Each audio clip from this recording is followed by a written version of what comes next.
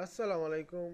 In this video I will show you how to replace page in PDF using Adobe Acrobat Pro. Let's get started.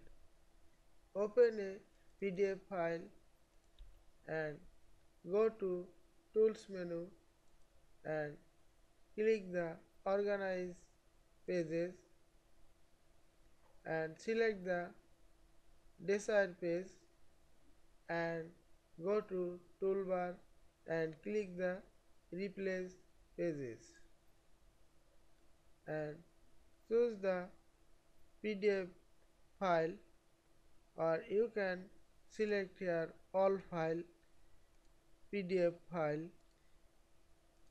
image file and etc. I will select all file. Upload the PDF file first and click OK.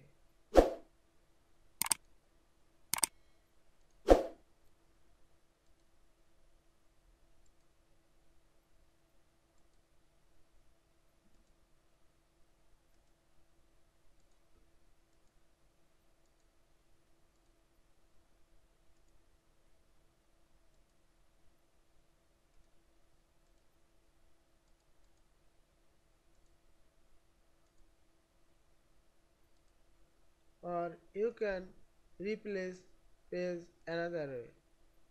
Expand the page thumbnail and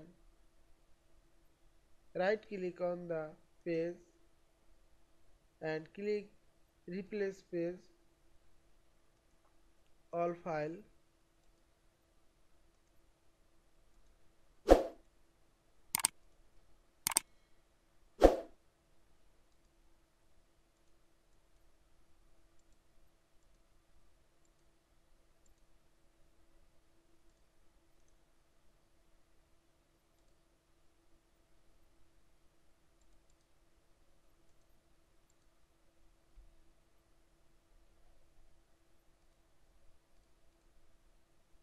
I hope you enjoyed this video. Please subscribe to my channel, like, comments and share.